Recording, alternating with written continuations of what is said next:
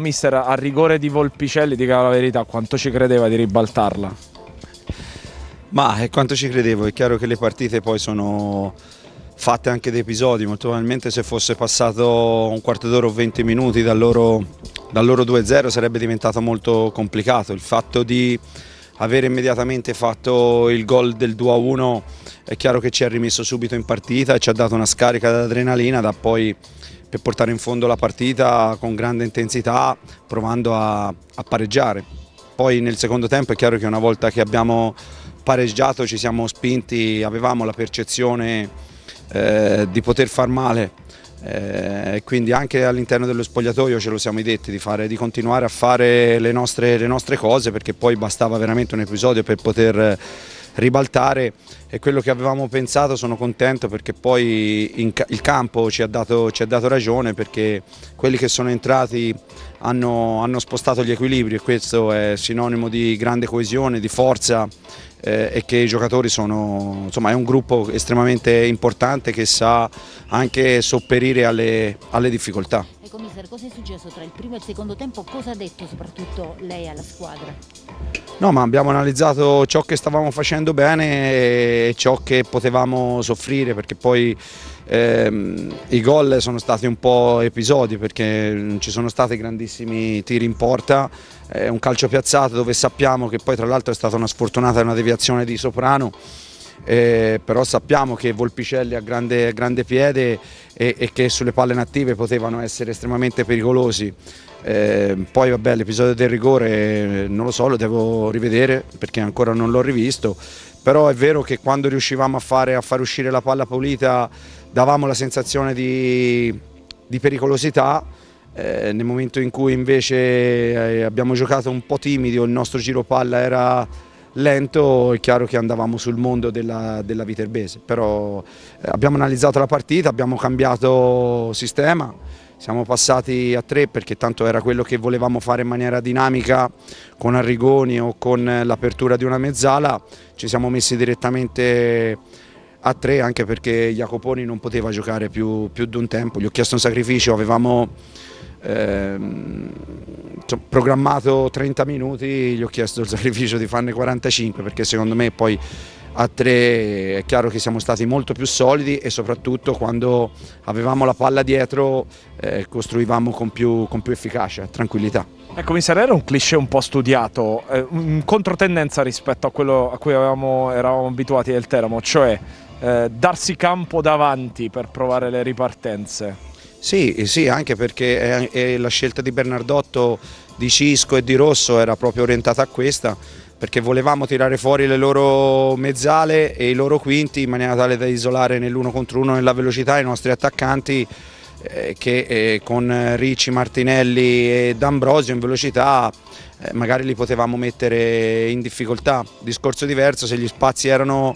più corti da attaccare, loro sono esperti, eh, usano benissimo il corpo e quindi difficilmente ci facevano girare, quindi era un po' quello che volevamo fare. Ecco, cosa significa e quanto vale questo secondo successo consecutivo? Un Teramo che ora può guardare anche in alto? No, no, no, guardiamo, stiamo orientati a quello eh, che c'è da fare, a quello che è il nostro obiettivo, che è la salvezza. È chiaro che dobbiamo dare continuità a queste prestazioni, a questo atteggiamento eh, analizzeremo ciò che non è andato perché ci sono stati anche degli sviluppi in cui avevamo sbagliato a, a occupare gli spazi perché secondo me poi se no avremmo potuto essere anche più pericolosi, però pensiamo partita come partita, ora abbiamo erano 15 le finali da giocare, le prime due le abbiamo vinte, ora ne mancano 13, però eh, la nostra testa è già mercoledì per la Pistoiese che è un'altrettanta un'altrettanta partita estremamente importante in chiave classifica. Eh, se chiedevi ieri continuità di prestazione, mi passi il termine continuità invece nel temperamento hai trovato? Sì, sì, sì, ma io penso che poi l'analisi che abbiamo fatto dopo, dopo Imola questo insomma, il gruppo ha dimostrato di aver capito. Quello... È sembrata una gara a spartiacque, Imola un po' come era stato Montevarchi. Sì, sì, sì penso anch'io perché eravamo partiti molto forti a Pesaro poi ogni tanto ho la sensazione che come cambia un attimo l'idea di strategire, quindi che non chiedo la grande aggressione in avanti, eh, tendono tendiamo ad avere un atteggiamento più passivo e ci snaturiamo un po', e quindi questo sicuramente è un errore che io in chiave strategia gara non lo commetterò più, chiederò sempre grande aggressività fino a quando ce la faremo, anche perché ora abbiamo l'opportunità con i cambi di, di, cambiare caratteristiche ma di mantenere alto eh, la pericolosità e soprattutto la qualità del gioco. Ecco mister, non vorrei essere ripetitiva, ma come a Pesaro una nota di merito anche per un centinaio di tifosi che vi hanno incitato dall'inizio alla fine anche quando eravate sotto di due reti. No, ma la curva per noi è una costante, cioè è un valore assoluto, ripeto, me lo sentirete dire tantissimo, questa è una curva che adora la propria maglia e, e mi ripeto per l'ennesima volta a cultura del tifo, nel senso che loro incitano la squadra nel bene e nel male anche quando le prestazioni sono eh, brutte o, o quando la squadra sta giocando bene, loro sono da esempio per tutti quanti e spero che questo atteggiamento lo abbiano tutti, poi al novantesimo è chiaro che ognuno deve esprimere nel bene e nel male le proprie emozioni, anche fischiando se la squadra ha giocato male, però fino a quando anche nelle difficoltà sentire il calore del, del pubblico, l'incitamento dei nostri tifosi è chiaro che ci aiuta, ci dà una spinta in più a superare le difficoltà. Commissario, è l'ultima da parte mia. Se i punti fossero 37 con la Pistoiese sarebbe un match point, i punti sono 28 e un set point? no, intanto pensiamo e proviamo a è chiaro che sfida, come sfida a salvezza è una partita estremamente eh, importantissima perché vincendo metteremmo insomma, un bel mattoncino su, sul nostro obiettivo eh, quindi è una gara, una finale come ti ho detto prima da non sbagliare in primis nell'atteggiamento dando continuità a quello che stiamo facendo ultimamente ma giocando al Bonolis dobbiamo cercare anche di aumentare nostro, la nostra qualità di gioco perché